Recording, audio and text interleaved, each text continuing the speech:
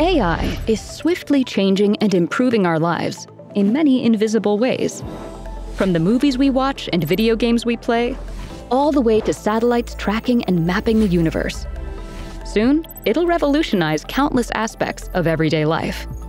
This revolution starts with the open source software developed behind the scenes. Widely adopted by organizations and loved by enthusiasts, open source tools like Kubeflow and MLflow have thousands of contributors and millions of downloads. Keeping up with all this innovation is difficult. Canonical supports your journey through the ever changing AI landscape, from edge devices to Ubuntu workstations and large deployments. Our MLOps platform works with different open source tools to take your AI models to production in a secure, reproducible, and reliable way. Ready to use in any environment, private or public cloud, hybrid or multi cloud, with components that can be plugged in and out depending on your use case, and automated lifecycle management and compliance requirements built in.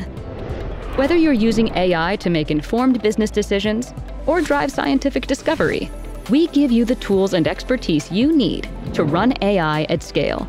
Working closely with open source communities, Canonical brings AI innovation to everyone.